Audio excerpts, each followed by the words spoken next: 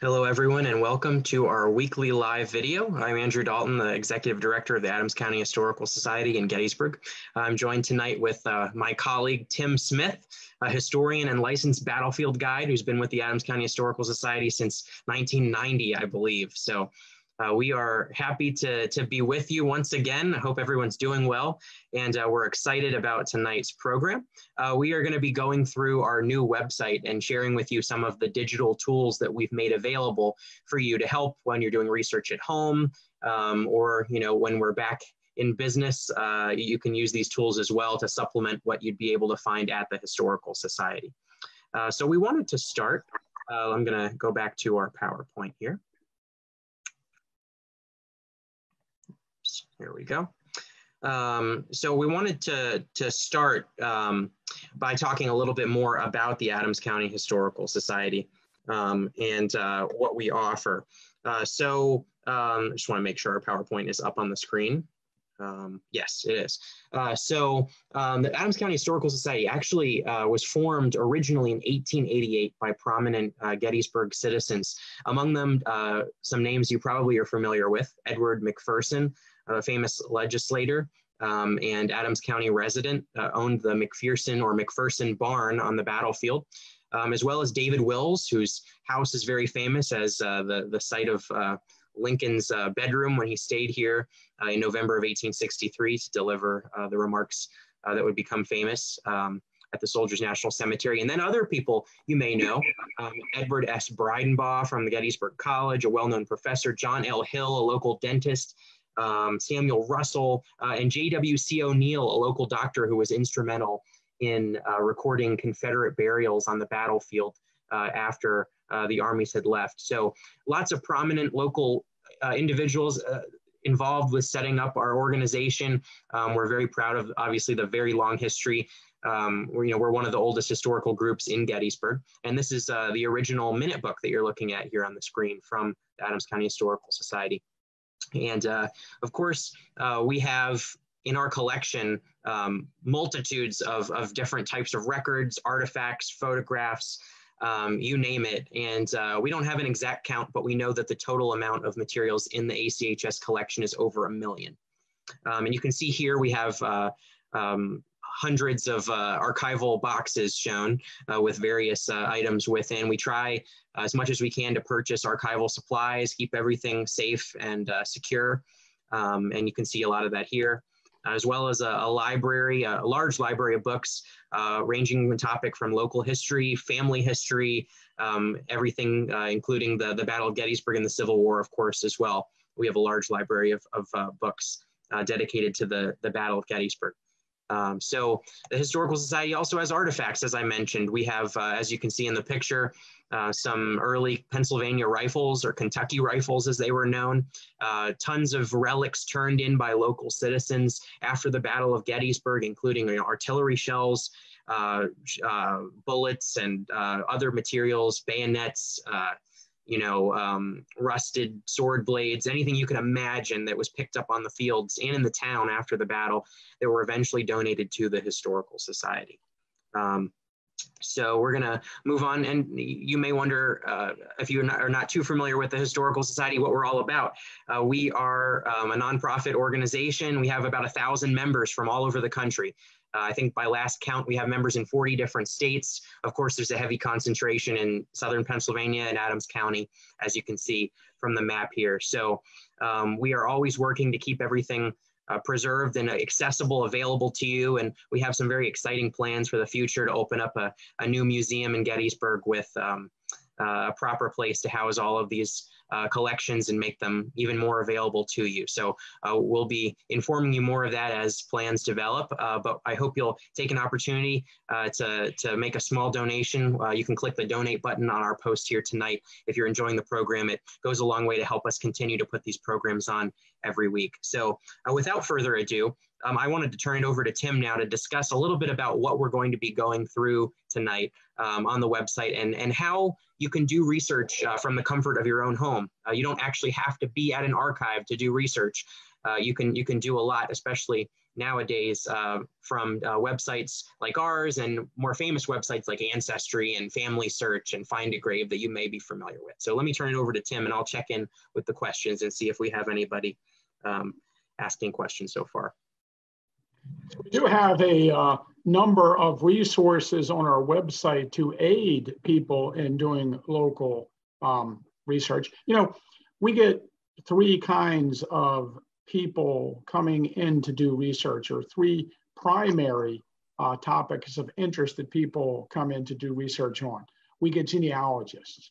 We get people who are interested in their family tree. And, uh, you know, it could be uh, somebody starting their family tree who doesn't really know who their grandparents or great grandparents are, or it could be a seasoned researcher that's been researching their family tree for years and want to see what new information it can find by coming here. Of course, people live all over the country that have relatives that were or ancestors that once lived in uh, Adams County. So genealogy is probably our bed, our bread and butter, and probably the main uh, type of research uh, that we do for people when they come in. And then, of course, we also have people that come in to do research on property. Now, we did a whole little webinar on um, you know, researching your property in Adams County. So um, uh, that was one something we did uh, last month, I believe.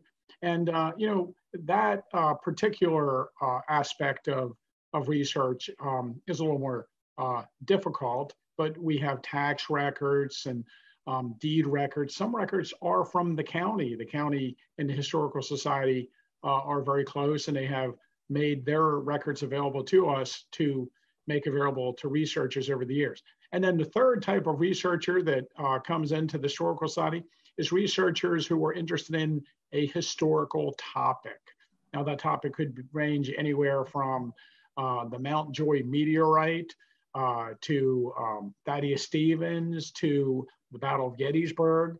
Um, and of course, since the battle was fought in Adams County, we have a large amount of resources that pertain to that national event. So we have vertical files in our collection that have a large um, uh, a variety of topics dealing with uh, all kinds of historical aspects of the county. But there are the three different types of researchers we, we tend to uh, have come to the society. Thanks, Tim. So yeah, I guess uh, what we'd like to do next is go to um, a tab on our website. Uh, if you haven't visited our website, it's www.achs-pa.org. You can find us if you just type in Adams County Historical Society um, in your internet browser.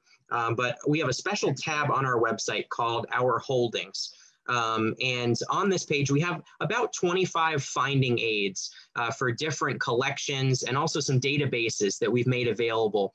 Um, and we wanted to kind of go through these things. And for those of you who have uh, relatives, uh, ancestors from Adams County, or are interested in Gettysburg history or Adams County history more generally, um, we uh, we uh, we have this page set up, and we hope that you'll be able to take advantage of it um, over the the next few weeks when you may have a little extra time to do research. Um, so let's, without further ado, I, I, want to start with probably the most uh, helpful um, link that you could find here on this page, and that is a uh, something that we're very proud of, which is a, a link to about 20,000 photos and records that we have made available uh, through a database called Past Perfect, which is kind of our, our organizational database for all of the records that we have in our holdings. Um, things are cataloged when they arrive at the Historical Society. Sometimes, though, um, you know, we don't, it's the collection's so big that we can't catalog it all right away. Um, and so that's where finding aids come in and they're more useful. If you've got a large collection, you can just describe it and not go to every item and write a description of it. Uh, but for a lot of items, um, I think we're up to about 60,000. We do have an individual catalog record for every single item. Um, and uh, these are cataloged onto Past Perfect, and 20,000 of them, uh, mostly our photographic collection, is searchable um, on this page of our website. Um, again, you can find it through the Our Holdings tab. So I want to just uh, show you what a search here looks like. If you if you're on the home page of this site, you want to click Advanced Search. Um, and then you can type in a search term. So since Tim is on, our John Burns biographer, why don't we search John Burns, the hero of Gettysburg, uh, the civilian hero who joined the Union Army, was wounded several times. And you can check in our collection and see what we have that pertains to John Burns. Now, notice how we used quotation marks around John Burns to make sure that we didn't just get results that said John or Burns. We want that phrase together, John Burns. So there's 35 items. And on this catalog, you can actually look um, at the photo, um, not in high resolution, but you can get a pretty good image of it with a with a watermark to see uh, whether it's something that is interesting to you for your research um, or you know if you're an ancestor or a descendant of John Burns you can see a picture here of your ancestor um, and we highly recommend that uh, if you have any uh, local ancestors or even if you're just interested in what the town of Gettysburg once looked like you can plug in a search term like Baltimore Street um, and you'll be able to see all of the historic photos images and documents that we have cataloged in our collection um, like I said, though, with a million items and only 60,000 cataloged, you know, you're only searching a small portion of our holdings, but um, 60,000 is still a lot. And, you know, uh, you're very lucky to, you're, you're, you're uh, very likely to find something that applies uh, to your search. So here's the picture of the compiler office on Baltimore Street. Um, here's a picture of a pastry shop. I believe uh, the Runing family. Is that right, Tim? Reuning? Runing, yeah we know some relatives of that family, I believe. Um, and uh, here's a picture of the Jenny Wade house, or a, rather a, an early illustration, maybe not so early, but an illustration of the, the Jenny Wade house. So you can find just about anything you could imagine um, through this database. Again, it's the Past Perfect tab. And I'm going to try to monitor the questions here. If we have um, uh, any questions coming in, please feel free to drop us a question. Do we have any records from the Adams County Alms House? You want to take that one, Tim? Um, I do believe yeah, uh, we have a few original records and registers of the almshouse, and we also have uh, on microfilm and also printed version copies of almshouse records. So um, there was a register from the early almshouse records that was found at the almshouse before it was torn down near in the early 1960s, and um, it was donated to the Historical Society, and there was one donated to Gettysburg College. And someone who went through them and did make an index of some of the names in the index. For instance, you know, since we were talking about um, uh, things that I've researched, uh, Jenny Wade's uh, mother, Jenny, and her sister Georgia are in the almshouse register. Uh, she's pregnant, and so the whole family is in there for a short time. They also, the almshouse gives outdoor relief. So uh, if you you don't have to be in, in house, but if you're poor and you need some help, they'll assist you with some money, and that's recorded in the register. So there are some records. There's a, a really interesting, more modern booklet from the almshouse that we have in our collection from around the early 1900s, and it tells you the people who were in there and when they were uh, admitted to the almshouse and if they were transferred and, or if they died at the almshouse, and also tells you why they're in the almshouse. And we uh, I found that very interesting because it gives like uh, the the disease, whether you know somebody's in there because they're insane or because they have a disability. Because the almshouse is kind of a, a catch-all place for people who are poor, women who are pregnant, uh, people who are homeless, people who are insane. So it's a very interesting um, collection, and we, yes, we do. That's not on our website, the almshouse register index, but it's something we do have. Right, and we've got a couple other questions I wanted to address real quick, and then we'll get right into the the meat of this uh, page here on the website. Um, someone's asking, Kathy's asking, are there plans to make the other records available? Yes, and we are on constantly cataloging, digitizing, and creating finding aids. We're doing as best we can with a, a very small staff and some really great volunteers to get all this available.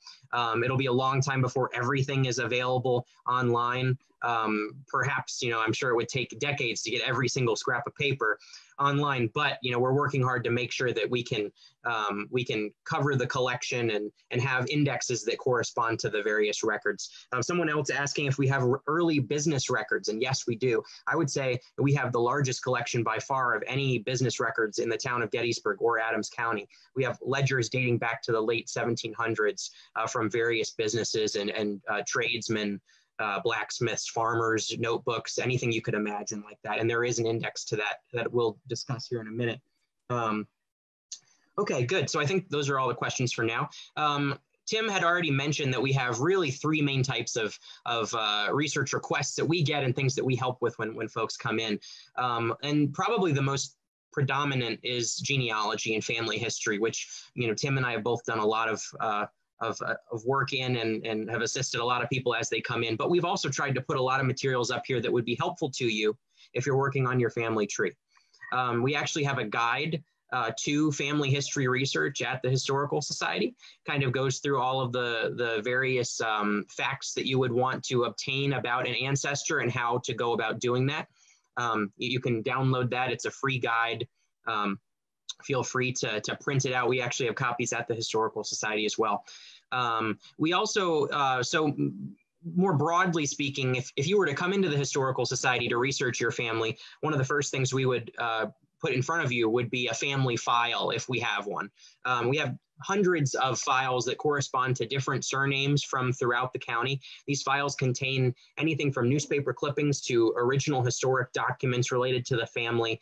Um, in some cases, we have a file on one person if the person was famous enough or left us enough records. Like you can see, we have a file for Tillie Pierce, a famous citizen of the town um, who wrote about her experiences during the battle. Um, and you can keyword search all of these uh, finding aids um, on your computer if you press Control F, which is a, the search key. And then if we were to look up, uh, let's say uh, we want to look for Smith, um, we'll get a lot of Smiths. You can see Hawkins Smith, Messer Smith, uh, and, and, the regular Smith. Um, so uh, you can find just about um, any family name that we have a file for. We try to update this as regularly as we can. I mean, it's a great source. Of course, you'd have to come in and actually see the, the, uh, the substance of what is inside all these files, but at least um, in the meantime, you'll know that we may have something uh, that is applicable to what you're, you're trying to find. Um, any other comments on, on that, Tim, before we go on to the next one? Uh, we have collected these family files since the society, since about 1960. So there are um, interesting materials in the files. One of the things that genealogists look for in the files is correspondence with other genealogists. So over the years, people have sent us letters about their family, or people are looking for a certain person their family, or they know something about uh, a, a, person in the, that family. So when you go to the family file, we generally have all the correspondence relating to genealogical research in those files from other people over the years. And like I said, a lot of it, it starts in the 1960s, correspondence. Great. And we also have, um, in a different part of our collection, we have uh, uh, two different types of, of other family records. Uh, one is family history, so either published or unpublished family histories. Uh, we have an index here on our website, and the index discusses um, in many cases gives the title of the publication. Um, of course, you know, you may have someone in your family who's written a family history. They're pretty common um, for people who do a lot of genealogy. I mean, we tried to collect all of them regardless of whether they were uh, printed and five copies were made or if it was an actual book um, that was widely distributed, which is, is the case in some uh, for some families. So we have this index. Again, it's also searchable. You can check the, the surnames um, and then when uh, the Historical Society is back open, you can come in and, and visit and, and uh, view some of these materials. And then as I mentioned, uh, there's a third type of uh, family record that you could find, and it's called family collections. Uh, so this is actually a very new index. For some of you who've been to the Historical Society, you may not be familiar with these materials because they've just been organized and gathered in this format. Um, but we have collections, which we define a collection as a box of materials, no matter how small. Um, if it fits in a box by itself, we call it a collection. Um, and they're organized by uh, surname um, in this index. So uh, they're records that are not immediately accessible when you walk in. Somebody has to actually retrieve it for you from upstairs. Uh, but we have hundreds of these family collections. Um, and you can take a look at this as well on our website and search to see if anything applies. Uh, these collections could consist of anything uh, from you know account books in the case of, of uh, uh, business owners to letters and diaries um, and uh, some contain a lot of photographs just about anything you could imagine. We, we're still adding to them today. Um, and we just actually a few months ago received a large family collection uh, from a, a, donor here in gettysburg um, so the, the family collections are, are excellent. Um, and, uh, you know, along the lines of you know, what are those basic facts that you want to establish about your ancestors um, when you're doing genealogical research? Of course, um, learning about the birth, marriage, and death date of your ancestor is really the place to start. And uh, we've talked about this in past videos, but there's a a scarcity of actual official birth, death, and marriage records uh, from the state or the county. Uh, really, until 1906, these things were not recorded. Um, there's sporadic recordings um, of, of some locally, but not a lot. And so, really, what we recommend is going to uh, baptismal records and uh, church uh, marriage records and church death records. And we have a large index of church records on our website. Um, if you know what church your ancestor attended. You can find out whether we have the records and what years we have the coverage for. Um, Tim, do you want to explain a little bit about how you would figure out what church your ancestor may have attended? We a couple things about the uh, church records we have. Um, Dr. Charles Glatfelter, uh, uh, you know, when he was younger, he always mentioned he thought about becoming a minister at one point. Um, and he uh, is associated with the Lutheran Church. And of course, the Adams County Historical Society leased the Lutheran Theological Seminary building for many years. And so we, over the years, uh, obtained copies of uh, from the Lutheran Seminary and from Dr. Glatfelter, um, Lutheran church records from all over the state of Pennsylvania and Northern Maryland. I should also mention that a longtime vice president of the Adams County Historical Society was Frederick Weiser. And uh, he was a graduate of the Lutheran Seminary and an archivist over there for many years. And Elwood Christ, who was um, the collections manager here for many years, worked at the Lutheran uh, Theological Seminary. So we have not just Adams County records, but we have a large amount of uh, York County records and Franklin County records and Carroll County records and Frederick County records and um, uh, literally uh, all around the region that we were in. Um, and uh, the Adams County records, we have tried to obtain a copy of each of the records that exist uh, for the churches in the area. And there's quite a number of them.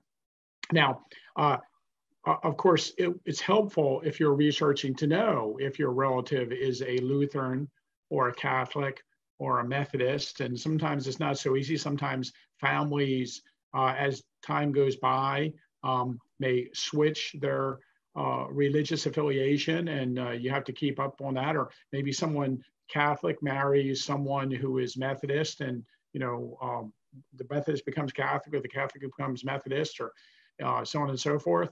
Um, but what I generally do is I look in the newspaper for marriage announcements of the couple and see what the name of the minister is who married the couple. And then theoretically, um, you know, that's the church where they have their children baptized, the church they got married in. And it works time and time again. People are amazed by that. Oh, one thing I should mention is Dr. Charles Glatfelter actually created an index of ministers in Adams County and clergymen and ministers, it's called. And you can actually look up in alphabetic order the name of a minister described in, in a marriage notice in the newspaper, and it'll tell you what church they're affiliated with.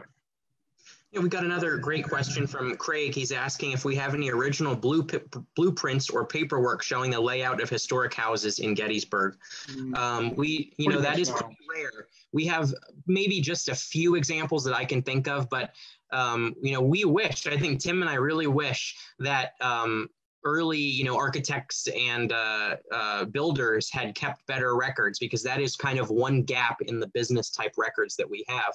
We don't have a lot of drawings. I can think of just a couple examples. Um, but uh, yeah, and another question: Do we have any uh, surviving pictures of Nellie Aughinbaugh, one of the civilians in the town? I believe is there. There is one.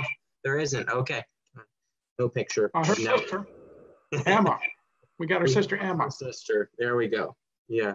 Um, great. So um, let me uh, go back to, or I guess we're on the homepage now. So um, next thing I wanted to talk about is estate files. This is something that is an excellent resource at the Historical Society for anybody doing genealogy.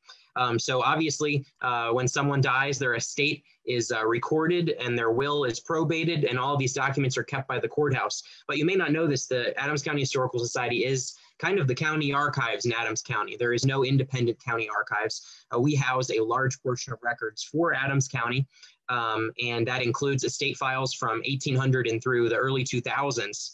Um, and we have at the Wolf House everything from 1800 to 1989. So you can view the original uh, will and estate file of anyone uh, who who owned property in Adams County or other uh, personal estate that was uh, valuable enough to have a, uh, a file at the courthouse. of course, a lot of people died intestate, meaning they did not have a will. Uh, there are still papers usually. Um, but uh, we have found that unfortunately it's very heavily male um, in in the records. There, uh, it's it's uh, a lot harder to find women in these estate files uh, due to how property ownership um, was was structured at the time. Although there are a considerable amount. Uh, did you want to add something there, Tim? Yeah, um, we should mention that uh, the previous record we talked about, the church record, that index was created by three or four volunteers over the course of a few years. And I should mention the uh, church index was created by Conrad Richter largely, and a team that he put together, including, uh, I should mention Dale Molina. She's a current volunteer and worked very hard on it. Um, a few other people were involved. I didn't think about uh, uh, giving all the names of all the people, but the one we're looking at right now, um, uh, Mavis Sterner, Starner, I'm sorry, um, she uh, is really was worked very hard on this particular index of the estate papers to make it into a format that we could then uh, turn into something you could search digitally. And also, right. uh, I should mention the Wits of Littlestown. I always just call them the Wits. Um, uh, Jim Jim Witt and his wife they worked very hard on this also. And um, you know, we could not run our society or create the resources we have for people that are coming in to do research if it wasn't for a large staff of volunteers that come in and help us with these, uh, you know, these indexes. Right. We have, yeah. And if, you, and if you're interested, just, just to yeah, say, just to point out too, also we have um, currently um, we have a couple indexes that are almost done, and we're uh, getting ready to uh, put up that people have worked on for the last few months. And um, uh, you know, so we have a current staff of volunteers that are continuing to create new resources and indexes. We've got a great question here. Um, do most cemeteries have a plot or grave locator available? And do we have access since many gravestones are missing or illegible? You want to take that one, Tim? I would say, in my experience, most cemeteries do not have a list of where people are buried or a plot map which uh, sometimes is disturbing. I wonder, you know, a lot of cemeteries look look around and you see a current burial on an old cemetery, and I'm always like, how do they know that they're not burying that person on another person who just didn't have a stone or the stone is missing now? Um, so my experience, um, if the cemetery is still active and you can still be buried there, usually there's someone in charge of the cemetery and that person must have a working knowledge of who is buried there. But as far as we here are concerned, at the Adams County Historical Society, we have the burial records pretty completely for Evergreen Cemetery, but we don't have plot plans or burial records beyond tombstone inscriptions for the large majority of Adams County cemeteries. So uh, obviously, a large amount of people were buried without stones. And the church records actually often have um, burial records in them that tell you when somebody was buried in the cemetery. So they're the best thing to look at. A church cemetery's burial records if the person doesn't have a stone. Right. Thanks, Tim. Yeah. So a couple other, um, a little bit more obscure. We're getting down the list through some of these really critical sources. Uh, we do have a list of newspapers that we have on microfilm at the Historical Society. Um, microfilm is kind of a, a dying art. Um, so a lot of newspapers you can now find through websites like ancestry.com and newspapers.com, which we really uh, recommend. Uh, but we do have a list of what's available. Um, we have some newspapers from York County as well. Um, and we do have a, uh, complete run of the New York Times through the Civil War period as well. So if any of that is interesting to you, you know, we, we recommend coming in probably better in, the, in this day and age to start with a digital search. Uh, but uh, Tim and I will uh, often find, you know, that certain periods are not well indexed and the images are unclear and we have to go to the original microfilm to view an article. Um, Another, probably, this might be my favorite index that we have. It is the criminal case file index. So you can check uh, here to see um, what your ancestors did um, in Adams County and uh, if they got caught for it. So uh, we have a lot of fun. I think Tim and I have had several cases where we have um, had a lot, a lot of fun uh, showing some of these criminal case records uh, to people um, who are researching their ancestors at the Historical Society. So you can see, um, we have uh, uh, the, the criminal charges for each. Uh, here's a, a female bastard child, assault and battery, breaking and entering. Um, it's uh, just uh, fascinating stuff. Um, a lot of these records are very early. You can see they start in the 1820s and 30s and go up through about the turn of the century. Um, but I highly recommend checking to see um, if any of your ancestors are on this, uh, this ledger. Um, and they all correspond to original uh, county records that are, again, on permanent loan to us from Adams County.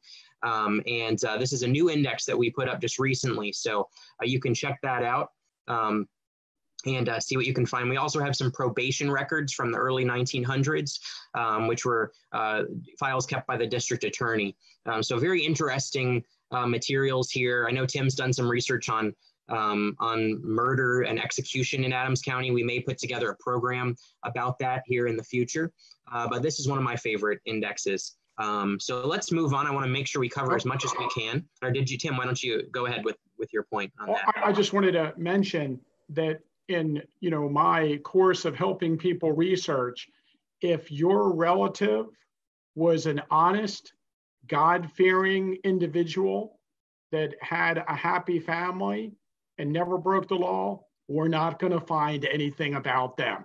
You need to have a criminal or someone that you know did something wrong or you know to, to find stuff we, we we the records are much better if they're a bad person and if they're a good person that's right. I think that yes, we we often will find lots of great newspaper articles if your ancestors were not on the up and up. So so you can check this index out even if you don't have local ancestors. It is quite an interesting uh, record. So yeah. And let me mention it, you know, I've thought about, I think this would be very interesting. I've thought about writing a book called The Black Sheep of the Family and list all the types of records you can look at if your relative was a black sheep we can find out if they committed fornication and bastardy or you know if they were in the insane uh, ward of the almshouse. We have lots of records for that kind of stuff yes, we, we sure do.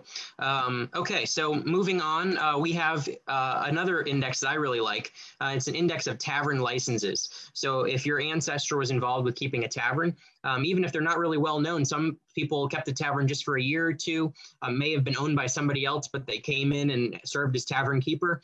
Um, there's a lot of, uh, actually there, you know, quite a few women, Rachel Arnold, uh, you can see, you know, it's not just men who are running taverns. Um, but uh, this is another great index giving the name of the tavern keeper, the years that they had the tavern, and the location of the tavern. So you can see some of the more famous ones. I'll go to Bream, Francis Bream, which is Black Horse Tavern, just west of Gettysburg. A shout out to any of our friends from the Bream family who may be watching.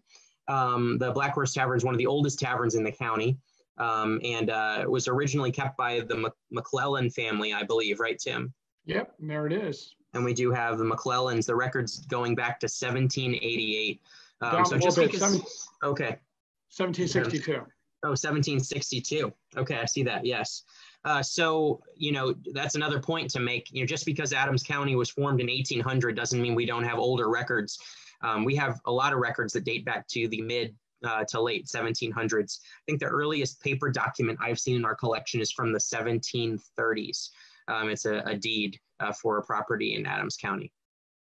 I wanted to mention that we have for the early taverns from like 1800 up until about 1850, we have the tavern license applications. And anytime a tavern, uh, an owner would be applying for a tavern license or a person, they would have to have uh, people sign for them. So many of these applications are signed by people who live around the tavern or, you know, or uh, are friends of the person that uh, rent the tavern and it have 10 or 15 signatures on them. One of our volunteers actually went through all the tavern license applications and made an index of all the people who have signed the applications. And we don't have that online, but you can come here and see it. And a lot of people get into this, find your relative's name, and then they're able to see for the first time their relative signature from the 1830s on an original document. Now, obviously, sometimes it's just an X, but you can actually look at some of these early signatures on the tavern license. Great. Yeah, so uh, to cap things off, we've got two more things that are kind of directly related to genealogy. Uh, one is death certificates from 1852 to 1855. Um, now, it seems like a very obscure record, and it is. I don't know if we actually have an explanation for why, for a brief period of time, um, Adams County kept official death uh, certificates.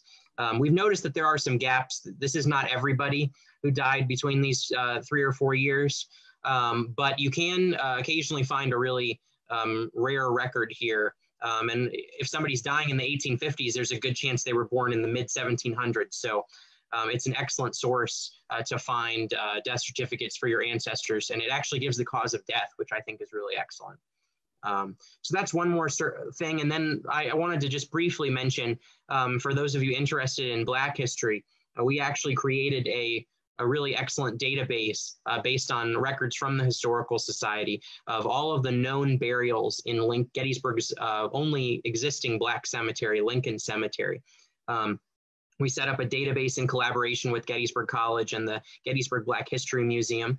Um, and uh, you can actually search and let's just do one, uh, somebody more famous. Let's do Basil Biggs, one of the, the more famous uh, African-American community members here in Adams County. Uh, you can see not just uh, Biggs, uh, but anyone who uh, has the word Biggs in, a in the description um, on their individual page on this site. So here is Basil Biggs. If you scroll down, you can click on it and there's a picture of every single headstone in the cemetery, a picture of the death certificate for Basil Biggs, any other newspaper articles, that's his obituary. And uh, we have some basic information about Biggs that we were able to, to figure out here. So um, so I highly recommend checking out this database. Uh, we do need a subscription um, to get on this. It's free to set an, set an account up. Uh, but uh, we hope you'll check this uh, source out uh, if you're interested in the Black community here in Adams County. Um, so that's another another great source. I think now we'll move on to uh, property research and a few of the the um, the finding aids and indexes that we have here that might be helpful to your to you in your search. Uh, first, we put up a, a guide to property research.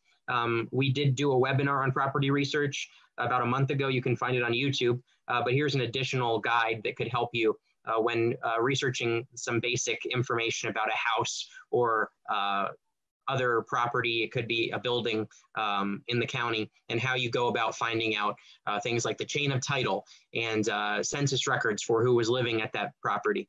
Um, but we do have some, some resources um, under this category, property research. Uh, and one is an index to uh, deeds uh, of Adams County. And uh, actually, there's a website now through Adams County uh, government where you can actually go on and view original deeds. You do have to have a subscription and it's uh, pay per view. Um, so we've put this index up, this free index, so that you can get an idea of what's there before you either visit us or visit their site. Mean, we do have access to their website at the Historical Society. Um, so this is a list of, of deeds. Um, it includes some unrecorded deeds. Uh, the Historical Society um, has taken deeds that were not officially recorded with the courthouse, um, and we've mixed those into this index so that you know um, everything that we have access to at the Historical Society. And this index uh, goes back to 1800. Actually, you can see some unrecorded deeds prior to that. Um, and I believe, you know, we, we have the original deeds up through the 1930s, um, and then we have access to all more modern deeds uh, through that website that the county has set up. Um, so property research is, um, is really important to what we do. People are always interested in the history of their house or their, their farm. I mean, we're, we're always uh, really excited to, to help people make discoveries on that front. So let me go to the next one here and I'll turn it over to Tim because he is kind of the expert on uh, tax records at the Historical Society. So we received them from the county years ago in the 1970s, but uh, we do have all of the original tax lists from each municipality in Adams County from about 1800 up until about 1859. And we put a little index here of what we have. Now, like for instance, if you live in New Oxford, uh, early on that was Berwick Township. So you have to look into Berwick Township tax records. And then eventually they created Oxford Township. And then, of course, New Oxford was then, um, I think, Oxford Township's uh, 1849, is that right? And then um, 1874, 1875, I see you brought it up. Uh, it is when New Oxford has its own individual tax. So, um, you know, this helps you know what to look in for your property values, and you can trace your property values through the years. Now, it is tedious to get each individual book out and look at them. Um, but, uh, and, and the, for the most part, the tax records of Adams County have not been indexed. Um, it would be a massive project because, of course, the handwriting is difficult to read in many instances. Um, and many instances, people who, uh, you know, at the stage you can look at, um, they they said they microfilmed all our records, but you can't digitize, you know, cursive, so and make it readable. So, so there's really no indexes to them. And it's helpful to know uh, before you look at these what township or town you need to look in uh, to find uh, the tax. What I think there's 26 townships in Adams County and maybe um, 15 incorporated boroughs. So there's a large amount of places where your relative could live within Adams County. Uh, one of our volunteers years ago put together something called an index to the septennial census. Every seven years, septennial, they did an uh, sort of a list of the taxpayers of Pennsylvania by township, and they listed where that uh, person lived. So you could look in that index. It's very helpful early on, and you could see where your relative lived. Oh, we have that on here somewhere, don't we? I'm not sure if we have that one yet, but we're we're working on it. see where your relative lived, and then you can look in the tax records for those year and find the property. It's very very helpful. And we do have a question. Um, Victor's asking if we have a deed for the Abraham Bryan farm.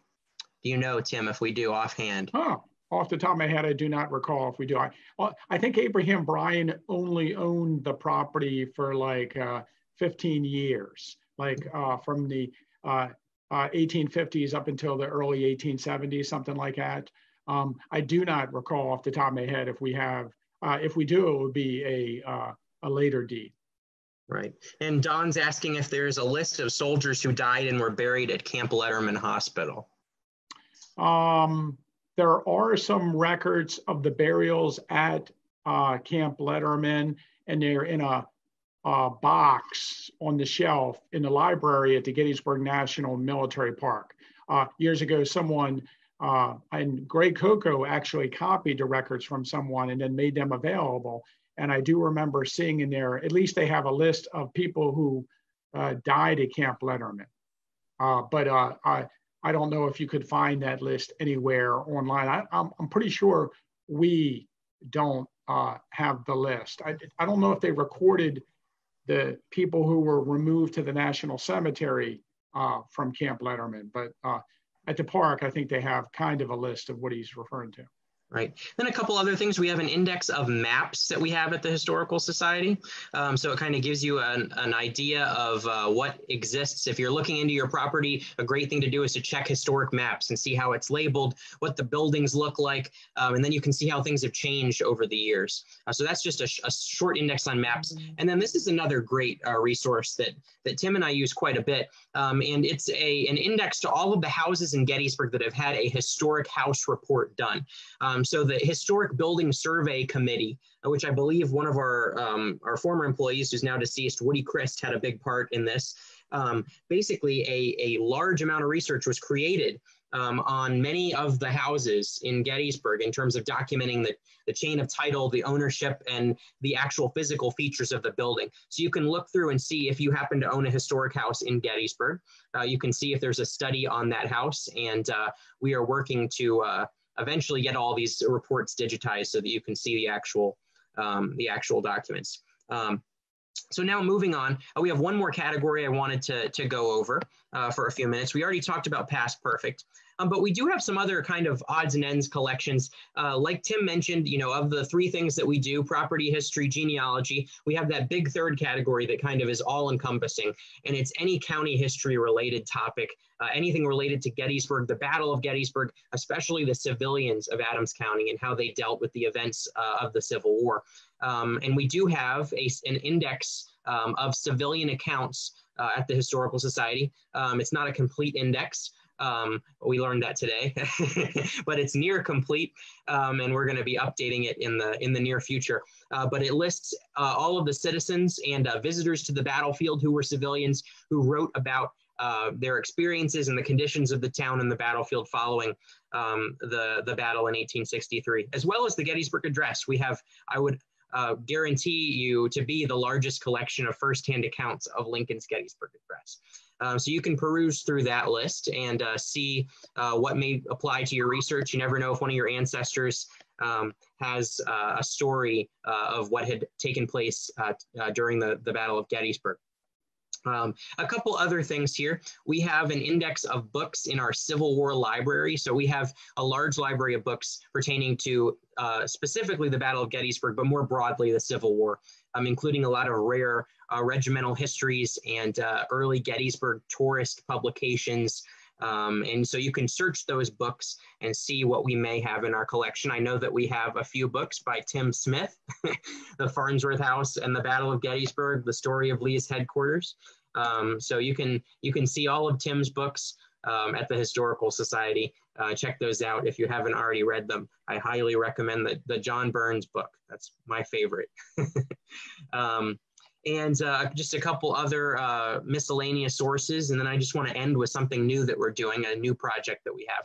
Um, we have an index of all the records that Adams County has given us on permanent loan. Um, so someone mentioned this in the beginning of the program, but we have the almshouse records. Um, we have some select birth records from the 1890s and early 1900s, bottlers licenses, um, uh, we have coroner's records. We have uh, the criminal case files we already mentioned, election returns, just about anything you could imagine. So if you're interested in the community, uh, various organizations and, and government uh, divisions and record uh, groups, you can you can view all those materials. A lot of this has never really been indexed at a name level. Uh, so we're hoping to um, expand and, and, and continue to make these things available. The first step when you have such a large group of materials is just to get some sort of a coherent index together. And this is what the first step looks like. Then from there, you can dig into each of these record groups, pull out all the names, and then eventually uh, one day have everything digitized. Uh, now, for now, the originals um, are at the Historical Society. Um, and that's what one thing I really like about the Historical Society is you could be looking through a box that hasn't been looked through in decades um, and has never been really indexed or scanned. Um, so we, that's a blessing and a curse if you're doing research. um, one thing I wanted to add here before we move on to, to the last topic, um, we do have a guide to um, other types of research. And so you can you can look through and see what we recommend in terms of researching uh, the Battle of Gettysburg, the civilian experience, um, as well as any other local history topic. Um, and I should have already mentioned this. Actually, Tim, if you want to just talk for a second, what are subject files and what are subject collections? What, how, how exactly is that organized and, and how is that helpful for, for researchers? Well, um, you know, in early historical society, again, they collected materials by subject. Now, to, this today, we tend to, if we get an original document in like um, you know, um, something from from Adams County Television or something, we might put it in a collection box and call it the Adams County Television Collection. But uh, well, before we had large collections like that, we put things in files. And so we have um, subject files. And the subject files uh, are topics relating to Adams County. Now, there could be an Adams County history topic if we scroll down, like, um, uh, you know, uh, let's see what, like, there's Adams County's Civil War Centennial, uh, like a the 1963 100th anniversary of the battle. Um, but a lot of times they're businesses or they're um, a charitable organization or uh, you know a, a AAA. um, in Adams County, or it's a history of a town. That there could be any number of random subjects, and over the years, uh, we've had information on a subject, and somebody created a file on that subject. And so you never really know what's going to be in the files, but um, we have this index of the files that we have. So to make to supplement uh, searching on PastPerfect for a certain topic, you can hopefully find that we have a topic, um, a vertical file on that topic, and you can look at it specifically. then, of course, we we have subject collection um, index. So so we mentioned that uh, we have upstairs a large room in which we have a lot of family collections and are organized for us by accession number order. So they're from 0001 to the present day collections 2020.020 or whatever it might be. Um, they're organized in order. And then we have indexes uh, telling you what the, the name of the collection is. So we have family collections, and we also have collections dealing with uh, subjects, historical subjects, or businesses. And again, you can see the Battle of Gettysburg, 1938 reunions. So we have a whole collection of information just on the 38 uh, reunion, 75th anniversary of the battle. You can see we have a few things on the Lawrenceville Vocational School um, uh, or the Biglerville Borough Council. We can we can see there, or Camp Colt. Or um, just not too long ago, I, I processed the collection, uh, the Carroll uh, Garden Club, uh, uh Carroll, Carroll Valley Garden Club. Uh, so it's the records of this organization that's, that, you know, recently they gave us the organizational records of that. Cigar Makers of McSherrystown was an early collection. so we have lots of different collections. We have a huge collection on Company K, First Pennsylvania Reserves uh, a Civil War regiment, uh, a company from organizing Gettysburg from Adams County. Remember, there was a monument placed to this unit in the square of Gettysburg in the 1980s. And this collection of material was um, actually donated to us by the committee who put up that monument in the square. Great, thanks, Tim. Yeah, so uh, just uh, to, to end, uh, I want I want to well first let me point out we do have a, a little video.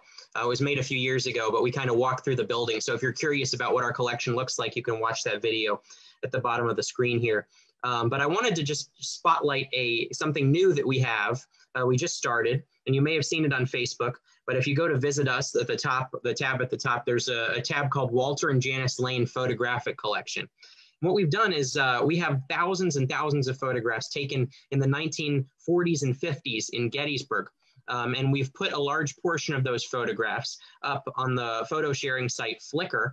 Um, and you can actually browse by year and look at some really incredible photographs of Gettysburg uh, from actually people and uh, scenes in Gettysburg and Adams County. And if you're wondering how are you going to find something you know related to your family, we've also put up on our website an index. Uh, click here to view the collection, and above it is before. Please search the, the index here. So we have an index, and you can search uh, for anyone uh, in your family. If you're a Smith, you can search for Smiths. Um, I don't think there'd be anybody with my name, but let's see who's watching right now. We've got a Walker. I see we have one reference to Walker. We've got, um, oh, our friend Ron Gottwald, I think. I don't see any Gottwalds on the index, but you can search anybody um, who you may have been related to. You never know if your own photo, we've had people say, oh, wow, my eighth grade uh, class photo is on here. So uh, we recommend checking that resource out. And we're, we're trying to work as hard as we can to get things digitized um, and up uh, for, for you all to enjoy. Um, a lot of places really you know overcharge for every image that you see and we we want to try to get as much as we can out there um, so that you can see all of the the treasures that we have in our collection um, and along those lines, I wanted to thank Patricia and Craig and Patty for their donations. Uh, if you have uh, a minute to click the donate button at the bottom of this uh, live video, we'd really appreciate any support you'd be willing to give us, whether it's a, a dollar, five dollars, ten dollars, or more. Um, you know, we, we do all that we can with a limited uh, budget. And, uh, you know, we are working really hard to, to continue to keep uh, all these incredible materials preserved, over a million items. Um, and we are working hard to uh, plan for a new location that would allow us to, to get our whole collection under one roof. Now it's a little bit spread out at some different storage sites. Uh, we'd get it all under one roof and uh, open uh, a museum so that the county can come back and, and visitors as well can enjoy the the incredible artifacts that we have and and see the full story of Adams County from its earliest days uh, when dinosaurs roamed around the county. We actually have a footprint of a dinosaur in a rock, which we uh, will probably do more on in a future video.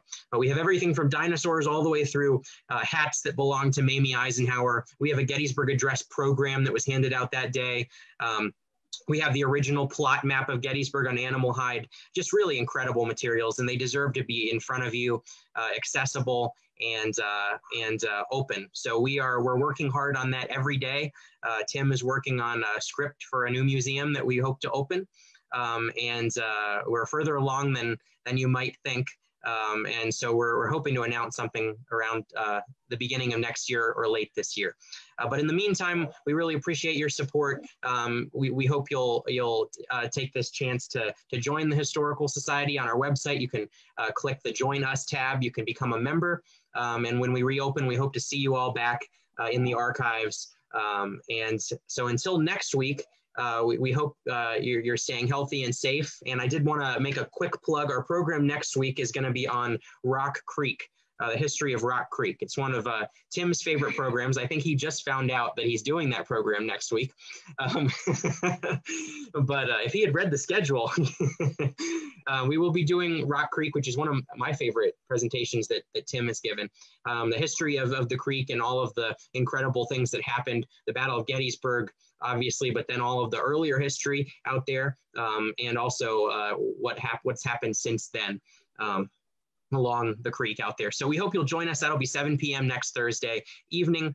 Uh, until then, I hope everybody stays uh, healthy and uh, happy. And uh, please take the, a chance to uh, go over to our website and like us on Facebook as well so you can stay up to date with, with what's going on.